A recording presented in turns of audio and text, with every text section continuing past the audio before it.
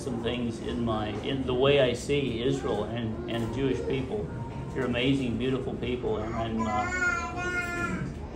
I have uh, I have something now to when when we're praying for Israel. I actually know what I'm praying for, and I that's beautiful. It's amazing to me just that God would continue to to bless you and prosper you and protect you, and the light from here will go, you know, throughout all the world. So hopefully we can do this with our children someday. That's what I'm hoping for. Good morning. We are, in fact, in Israel. This morning we're walking to where, babe? Uh, to Spring of David. Yeah, right? Spring of David. Mm -hmm. And in this area here, it's an oasis. And we stayed at a kibbutz last night. And tonight we'll be staying there. It's called uh, Kibbutz En Gedi. And a mm-hmm. kibbutz is a place where they're, uh, the Jewish community they're, I guess, looking at something. I'm not sure what it is. A Jewish community lives in a kind of common, common area. Um, and I think this spring is where David hid from Saul. Right. Yeah. Right. Hid. Yeah. While Saul was hunting him, uh, he was hid in this area. Um, mm -hmm. So we were going to go all the way up to where there's some waterfalls, but it rained just a little bit during the night, and unfortunately, there's uh, danger of flash floods, so we can't we can't go all the way. The yeah. So that's nice, a bummer. Um, anyways, we just wanted to say, hey, we're we're hiking here. It's uh, really cool. It's totally sandstone cliffs everywhere we look, but right in this area because of the water, it's green. And so that's what we're doing today. And then what are we doing next after this? We're going to Masada. That's right. right. Yeah, this is an old Roman fortress, and we'll tell you more about it when we get there. Yeah. And then after that, we're gonna go float in the Dead Sea. Yes. I'm excited about that. Yeah, and we've been seeing some ibex around here. There's some uh, hyrax hyrax. Those are like a uh, mountain conies, uh, like little, and these are both mentioned in the Psalms. Anyways, we'll show you a little bit of the scenery and what's happening. So I think this is now called the stream or the Spring of David. This is one of three waterfalls, but we're only going to be able to visit this one.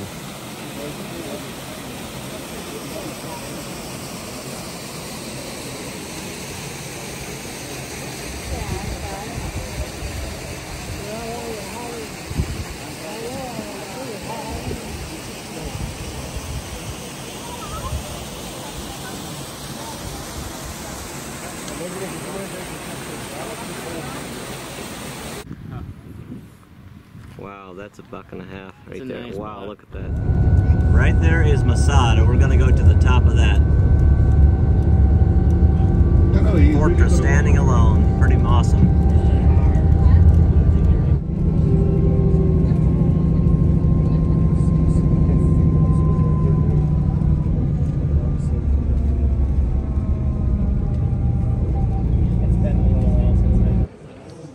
This is the fortress that we're going to be walking up on, right up the front of that thing.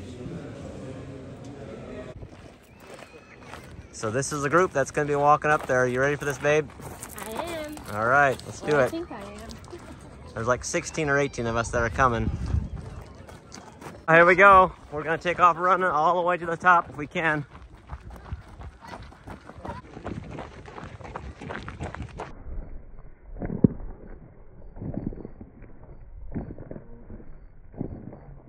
Okay. Not much for my ego. Ay, ay, ay. It's been a while since hunting season. I'm stuck in there like I'm at 10,000 feet. I don't know what's going on. Anyways, guess I'll just enjoy the view. Run when I can, walk when I must.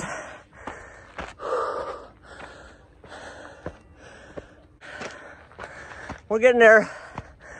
I think we're probably, uh, appear to be over halfway now. Still sucking wind, running a little bit, walking mainly. Got a couple of guys in front of me. This is no race, but you know the male species. Everything is considered a race, but it is what it is. I can't catch up. Woo! It's warm. It's probably 80 degrees at least. I'm sweating like you wouldn't believe. Check it out.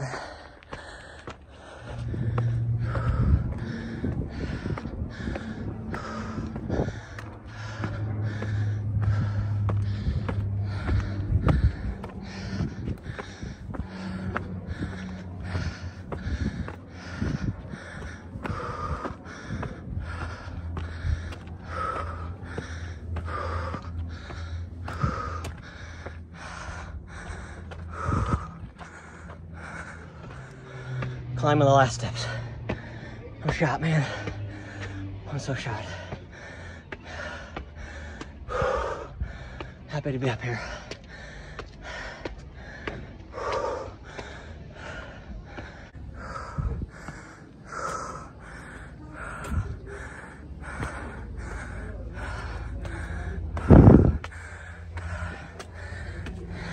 Okay, getting my wits back together now. That was intense. Whoa. I couldn't believe it. It felt like I was hiking at 10,000 feet. I don't know what's going on. Below sea level. It's like I couldn't get enough oxygen. Just crazy. But uh, made it. It's good to accomplish this. Can always say I made it to the top of Masada. At least I didn't stop. I didn't run, but it didn't stop anytime. So, yeah, pretty amazing up here. Now we got to go check out some of the ruins up here. One lone tree growing up here on the top of Masada. What a amazing sight. Looks like they water it to keep it alive. Well, now I'm waiting on Priscilla. Priscilla and uh, there's like a bunch of us that are walking up, so Priscilla should be here shortly. I'm gonna keep an eye out for her. There she comes. Job, babe. Long, long ways up here.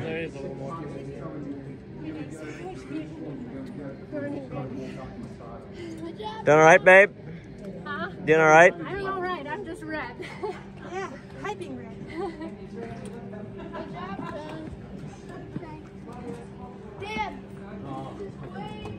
There's the Dead Sea. We're gonna be soaking in that after a bit here, and that's gonna feel really good. Woohoo! Made it. Good job, girl. Yep. about the meaning of the word Masada. Fortress. Fortress. So uh, we built a fortress when you're afraid that somebody will attack you, right? And you want to be, and you want to be protected from that somebody. So who is the person that built this fortress, and against whom did he try to protect himself? Please, Leona. King Herod built it, against, not against the Romans, not against the Romans, against the the Zealots. Exactly. The uh, story of um, around the time when Jesus was here. Jesus was just a generation after uh, after uh, Herod. Uh, around that time is that uh, Jews, that country is occupied by Rome, and there are Jews who are, you know, uh, allies with the Romans, and uh, live good life. Jews that say it is what it is. You know, we can't fight against them, so we have to just take it as it is. And Jews that said, no, no, no, no, this is against God's will. God doesn't want us to be subjects of the Romans. We need to kick them out of here. And these are the zealots. Okay, so the zealots were here for a long time. Uh, but, um, but the government always tried to oppress them. So how did Herod become a king? He went to the Romans, to Mark Antony, their emperor at the time, and said to him, uh, if you make me governor of my country, I'll take care of the zealots for you. Instead of you having to send people from Rome or from wherever to fight against those Jewish zealots, I know the country, I know the language, I know the people. I can do it much, much better job if you let me be the king there. So uh, Mark Antony said, sure, why not? And this is how Herod got his position as a king, but not as an independent king. He wasn't the, uh, the sovereign here. The sovereign was the Romans. He ruled in their behalf. But as it sometimes happened when, you know, a subject of somebody becomes, is very talented and he makes name for himself, Herod, uh, at the time when he was a king here, he developed the country like nobody before or after him until modern time. Nobody really was a builder like he did, like he was. Nobody was a developer like he was. And nobody was as cruel as he was. Or maybe people were as cruel as he was, but uh, uh, we don't know much about them. So one of the things that uh, he always uh, took in consideration is that uh, one day the, Roman, the Zealots might win. And if they will, he needs to defend himself, he needs to protect his family, his loyal people, and therefore he built fortresses in different parts of the country, and Masada is one of them. It's uh, quite clear why he chose this place. Those of you who walked up uh, uh, understand that this is very, very difficult to conquer a place like this, especially if somebody is sitting at above and throwing rocks at you. They don't even have to fight. They just kind of like have to roll the rocks at you, and it's what we call Jewish bowling. we, uh, uh, right? So uh, uh, this is not the only fortress that Herod built, but it's probably the most magnificent one, or one of the most magnificent one. And uh, uh, in, uh, besides the fact that this is a cliff that is so uh, flat, there's also uh, um, it's quite, I'm sorry, it's quite quite steep. It's also a little bit flat on top, so you can actually use the space here for development. So when Herod uh, decided to make a, a fortress here, what did he really need? He need three things. The first thing is a wall to uh, protect the edge of the mountain. And so what you see in front of you here, these are the remains of the wall. Uh, so this is the first thing that you need when you build a fortress. What is the second thing? You need storage of water and water and food, because the easiest way to take down a fortress is not by conquering it, by starving the people who are there uh, to death. Okay, so uh, uh, if you're a fortress engineer and you want to build a fortress, the one thing that uh, the first thing that you would know about a fortress is that the walls will help you for as long as the enemy is out. But the minute the enemy already broke in, you, this is a trap. You have no re- no place to run to. So every good fortress engineer will do what I call a second defense line, right? So if Masada down there is the whole space, the wall that we just crossed down here is a second defense line, and you can see it here, this line here. Okay? Now, uh, you would want to, put, to fortify it in every way you can. First, of course, is to build a wall. Second is to build a watchtower. And third is to dig a moat, a canal. A canal that goes from one side to the other. What we see here that the project really was never completed. They started to dig the moat. They ended here, which is just below us. We just crossed it over there. Uh, uh, and that tells us that, uh, you know, they would have continued. I told you it took three generations to, uh, for Herod's family to be here. So this is the defense system of what I call the second defense line. Behind that, or here, this is the villa of the of the manager, the um, I don't know what, and this is the office. This is where we are now at, and all these are food stores, here and here. 1, 2, 3, 4, 5, 6, 7, 8, 9, 10, 11, 12, 13, 14, 15, 16, 17, almost 20. And you can see the size of them. If they're full with food from floor to bottom, I mean from floor to top, they, uh, uh, they contain tons and tons and tons of food. All this had to be imported to here. How did it come? On camel's back. So think of those trains that I told you, those caravans, right, that cross the roads of the of the world. And of course, uh, food has expir- expiration date. So whenever a store uh, had to be, uh, the food that was stored there had to be uh, taken out, they just would take everything out, would refill it. So this is, of course, of the whole time work. About water, um, Ben asked me about water, and um, I can show it to you here. Uh, and then we'll see the original as well. They had the water systems on this level. Okay, here. And the water came from by an aqueduct from a nearby river, and this was a water path. Can you see this? So slaves would leave here every morning on mules with mules and would walk a very very steep slope, even more ste- steeper than what you walked, to the water cistern, fill up the uh, the buckets or whatever the, the mules carried, come back up and dump it on cisterns that were here. Why is it important? Because cisterns uh, are refilled by the rain, and it hardly ever rains here. So when the enemy will come, the first thing that they will do, they'll cut the water supply. You, and if it's in the end of the summer, you have no water up here. So you want to always have the cisterns full, and this is really a full-time, again, full-time work that they came from bottom to top, from top from bottom, from morning till night, every day, bringing water from the big cisterns down here to here, and then from here they will take it. This was the spa, this uh, building over there, and um, uh, two other water facilities that they needed. Let's uh, uh, just the last thing is that this is the other palace, Herod's palace on three different levels. The wall that comes from the right and the wall that comes from the left, they meet here. And so this would be the best, the best place with view, also uh, better breathe. And in, at noontime, here there's shade, because the sun is here. So what Herod wanted is a palace that will be hanging over the cliff. They cut the mountain in three different levels and put buildings on top, in the middle, and below. So there you can see the palace going down through there. Just look at that. Ay, ay, ay. This is freaky. Hanging over the edge of the cliff.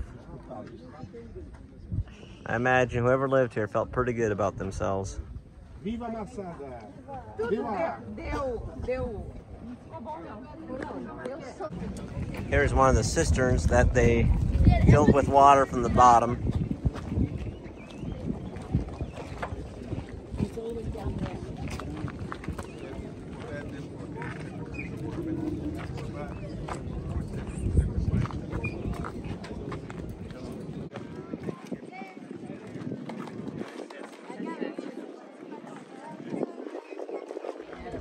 Gonna ride this cable car down now and uh, take it down rather than hiking back down. That'll be nice. They jammed this thing full, like 69 people in here last time. All right, they got us packed into like sardines.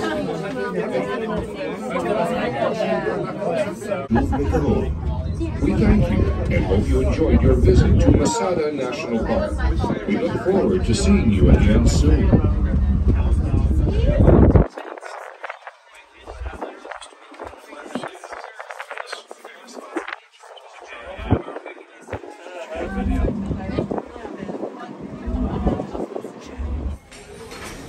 So we're here at a resort by the Dead Sea, and it's just incredible, just beautiful. Lots of food for lunch, and then we're gonna go soaking in the Dead Sea. And I guess it has, it's very healing because it has so many minerals in it. So I'm looking forward to it.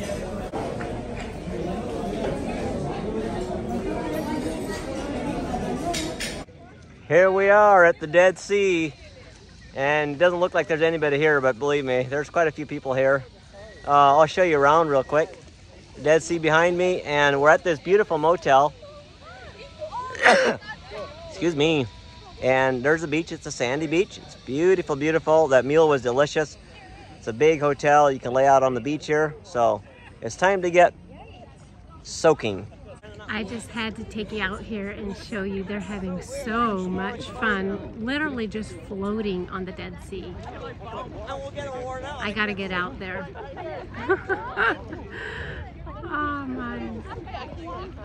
And you almost can't get yourself back up once you lay back and float. And what is so cool about it, it's so, it has so many minerals in it and it's so good for your body.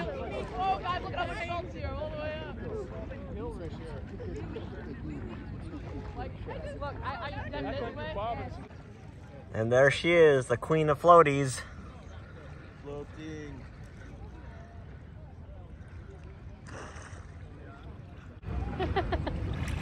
Ooh, this is amazing. Just amazing.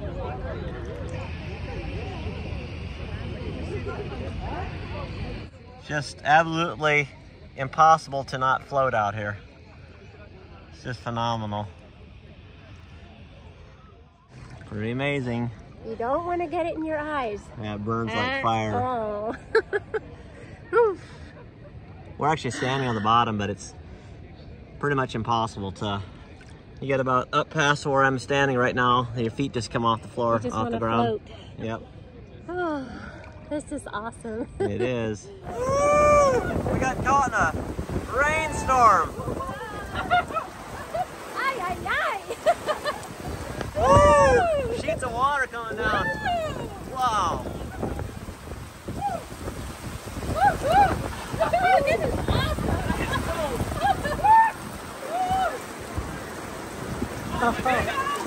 I got it. I'm thinking this is pretty unusual.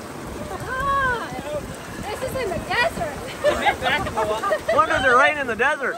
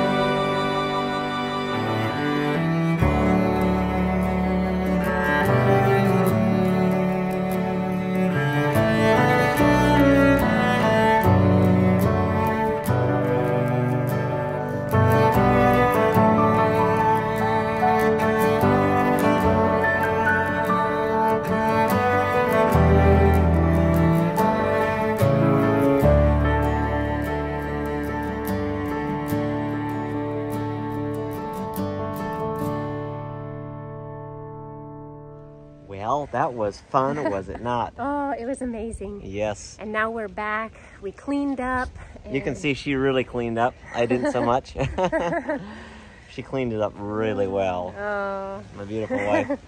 hey, we're uh, look at this beautiful view behind us. This is literally out um, Yeah. the back of our uh, little place that we're staying here in Engedi. Uh-huh.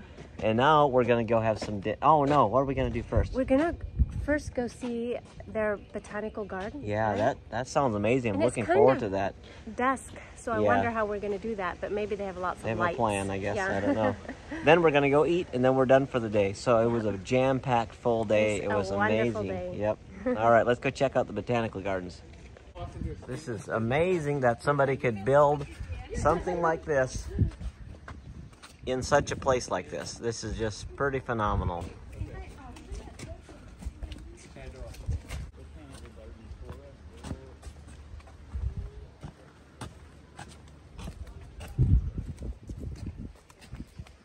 The specialty of our garden has to do with two main elements. One is the high quality of the spring water that we have here in the I oasis. noticed the water was good, really good water. The water is sweet, very low um, amount of uh, salts in it. So this is good for many plants. Second thing, which is even much more important, is the fact that the, the winter is warm.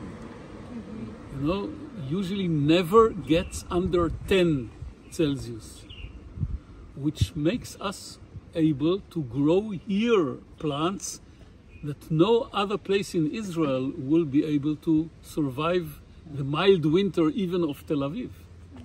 That's why we have so many special plants. And we are starting with a plant that has an historical story. Okay, what I advise you to do. This very, very modest bush, take a branch with leaves, don't pick them, but hold it strong in your fist and smell your hand. Hmm. This is one of the species of myrrh, oh. M Y R R H, a plant of incense, medicine, cosmetics, and perfumes. The famous balsam came from these kind of bushes. Now, the material that is so impressive. Now we know that here in Engedi, people 3,000 years ago were growing the henna. How do we know it? Bible. We take the most beautiful book of the Bible, the love poetry, Songs of Songs, or Songs of Solomon. I don't know how you know it. Mm-hmm. In the first chapter, there is a sentence that says exactly like this My beloved one is to me like a cluster of henna blossoms in the vineyards of Ein Gedi. Nothing more clear than that. Good morning. It's another beautiful day here in the in En Gedi, here in Israel, and we're just heading for breakfast. Uh, we've stayed here two nights, and we're going to go to Jerusalem today. Um, while we're walking here to our hotel, uh, to our our where we're going to have breakfast here, the dining room. I just want to show you these beautiful. Uh, botanical areas that they have here planted. It's really amazing. Um, it's we're just it's just like loaded with palms and all kinds of amazing flowers and cactuses because we're right in the middle of the desert. It never freezes here. And then I'll turn the camera around and I'll show you the other side. It, this morning it's completely blue skies and it's just like these crisp blue skies against this brown sandstone uh, cliffs. It's pretty awesome. It's really beautiful. So look at that. Look at how blue and browns and tans, and there's a spring down in there. They're literally up here on the cliff. It's a Jewish kibbutz. And now let's look at some of these plants that they have here. Cactus. I don't even know what they all are, but just loads of greenery. Little places to sit and enjoy. I can hear the drip irrigation going here. Lots of flowers. And this is their fall season, so things aren't blooming quite as much as they normally would. Look at this cactus right here. That's amazing. Got white flowers on it. Big palm trees, other leaf trees. Amazing.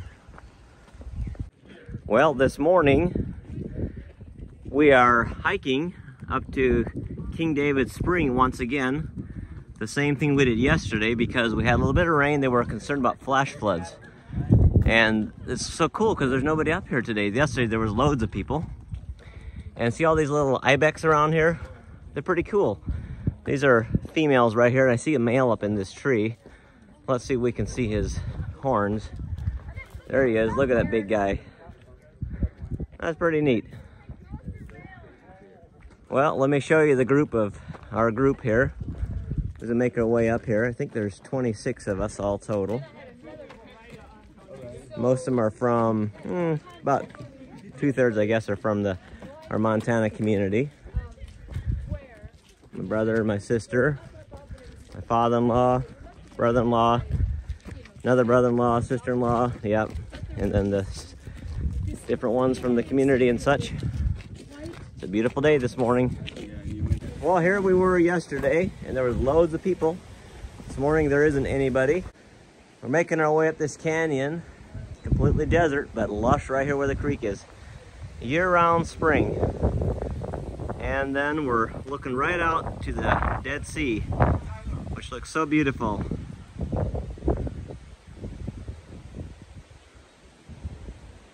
They've got quite the steps carved into the hill here. They need to sweep. Oh, they laid them in, I think, yep.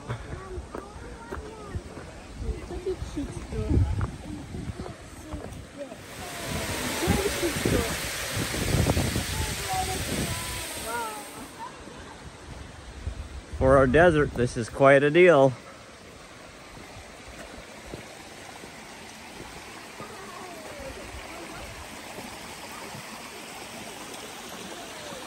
Wow. If I'd been King David, I think I just kind of laid down here and taking it easy in the shade all day long. This is nice. Oh, wow.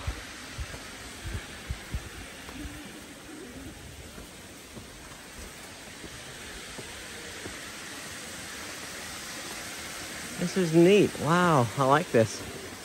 It's actually kind of cool down in here.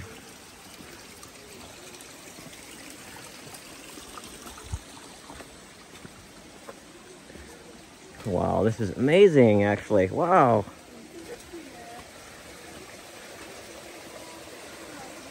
Very nice down in here. Nice and cool.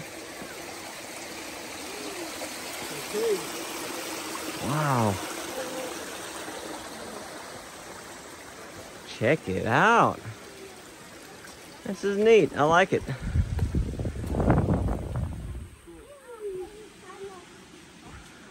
Tunnel made of grasses.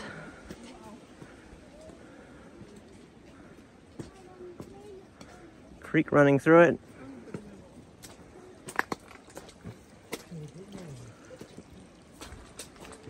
Smells a little strange. Kind of like wet grass. Maybe like some ibex live here sometimes. And I think this might be the waterfall.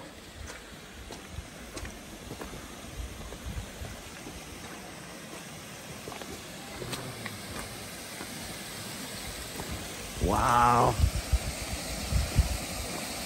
No way.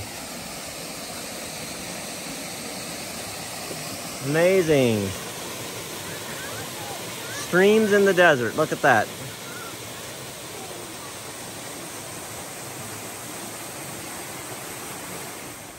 Amazing. Look at that big boulder up there. It looks like it could just kind of roll off of there, maybe. Ravens up there.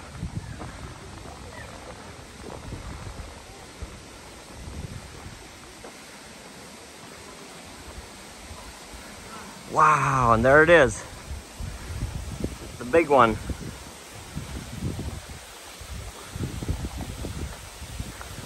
That is amazing. That's a tall waterfall.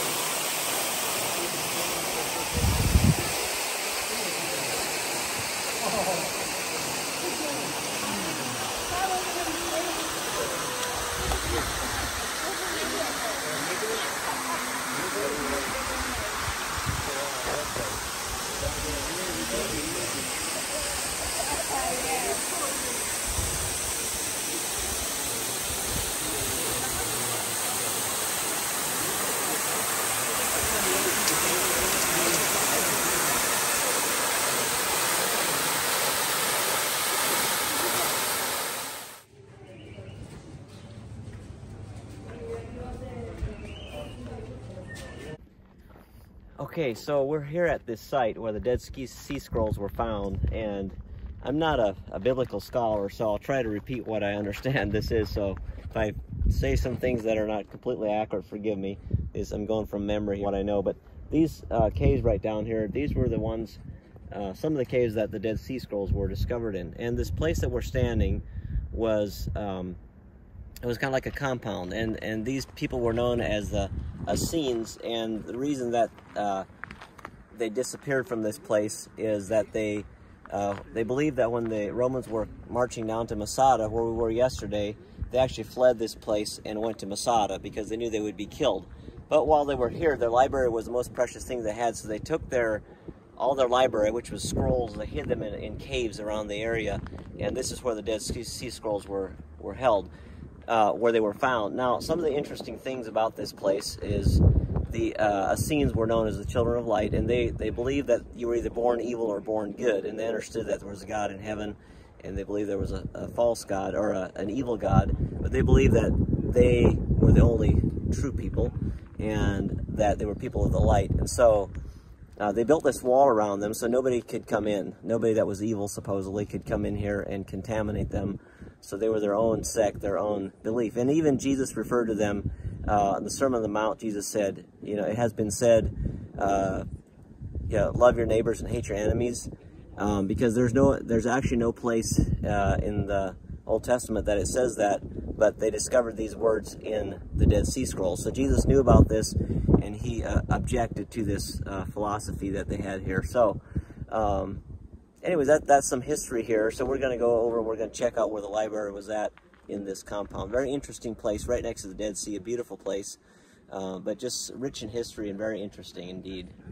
One other thing that they believe in is that uh, whenever something happened that made them impure, like going to the bathroom or etc., things like that, they had to go, go and cleanse themselves. And so they would go one at a time and they would, in the midst of in the bath, and they would uh, wash and they would be clean again because they believed there were people that were uh, clean. And so what, what this big cistern is, is they, they wanted to be ready when God comes back to get the to get all of them. So they created this big cistern. So if they knew that God was coming back, they would all jump in and be clean, and then they would be uh, clean to go with God, which is obviously a false mentality because of what happened. So, but anyway, it's very interesting that to see this and to understand what these people thought. Well, we're here at a place where we're going to be riding some camels.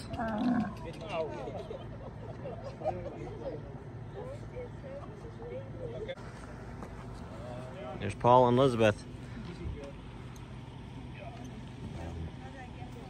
Ride him, cowgirl. Cowboy. Hi.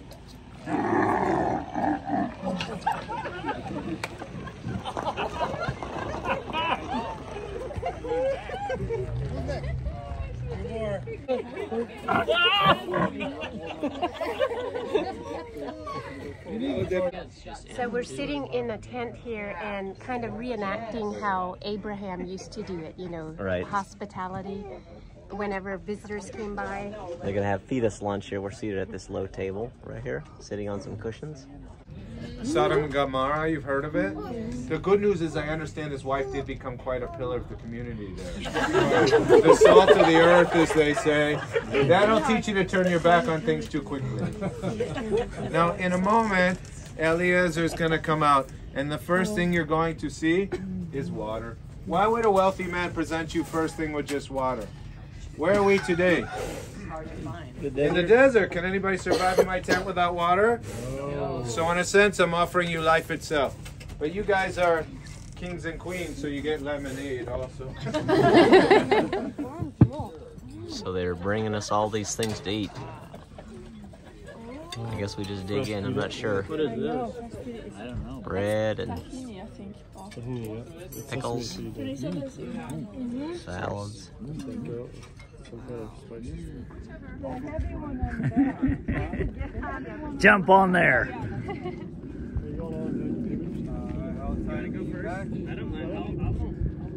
So where do you want these? Well, no, nowhere. You better just hang on. Do Antonia and Austin want to go? You want to go? You can come right up. You can come to this one. Okay. See docile hands? Ay, ay, ay. Sorry about that.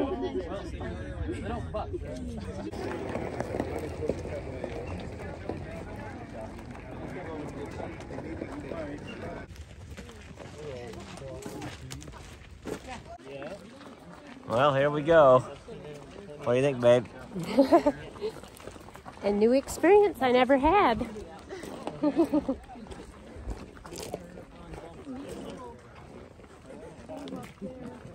All right, not so close to me, buddy. Yeah, this is pretty fun. We're out here in Israel enjoying a camel ride.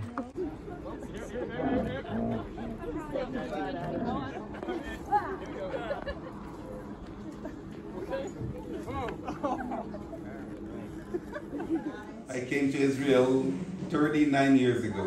כמובן באתי מאתיופיה, I came from Ethiopia. מאתיופיה לסודאן, Uh, from Ethiopia, we walked to Sudan. הלכנו 12 ימים. Uh, we walked for 12 days to get to Sudan. כשיצאנו מאתיופיה, אה, שתי הבנות שלי, בעלי ואימא שלי זוכרונה לברכה. Yeah. So uh, the family at the time was, was still small. It was only uh, Adina, her husband, two older daughters. I mean, the two oldest daughters that she uh, that she had at the time, and her mother that came with them. Her mother already passed away since. עוד אנשים, משפחות אחרות, ביחד יצאנו Yeah, they אלף uh, איש. they uh, uh, altogether there are about 1,000 people that left at the same time with them. Wow, what an interesting story this lady had.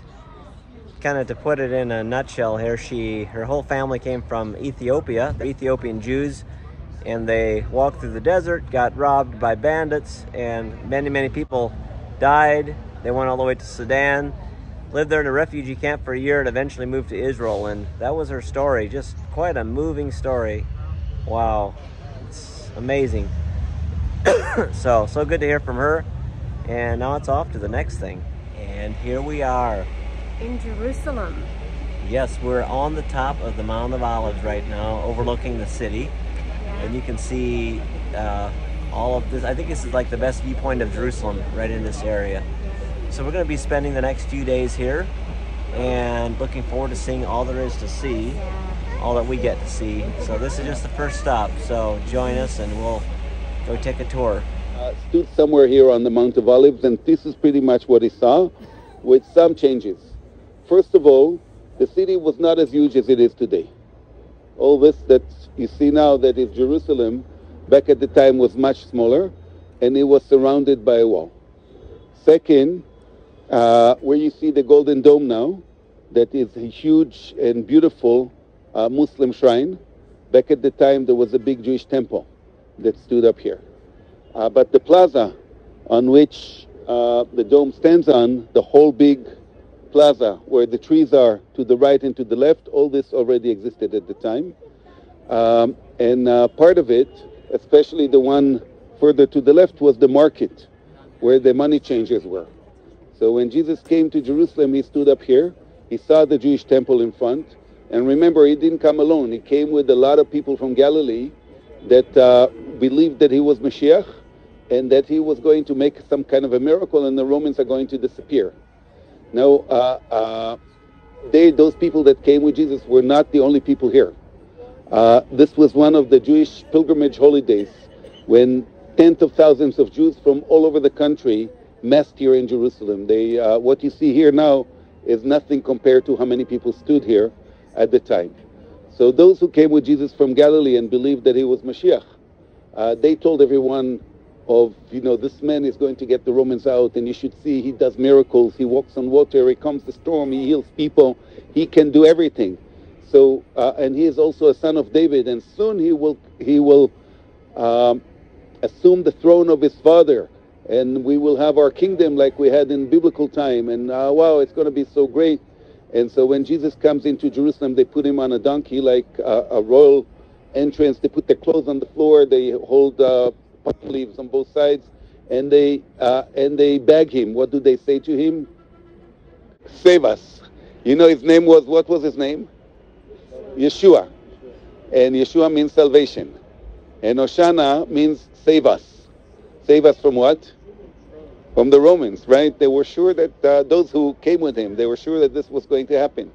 They called him the King of the Jews because they he was related to David, so they thought that you know he's going to be the next king of Jerusalem.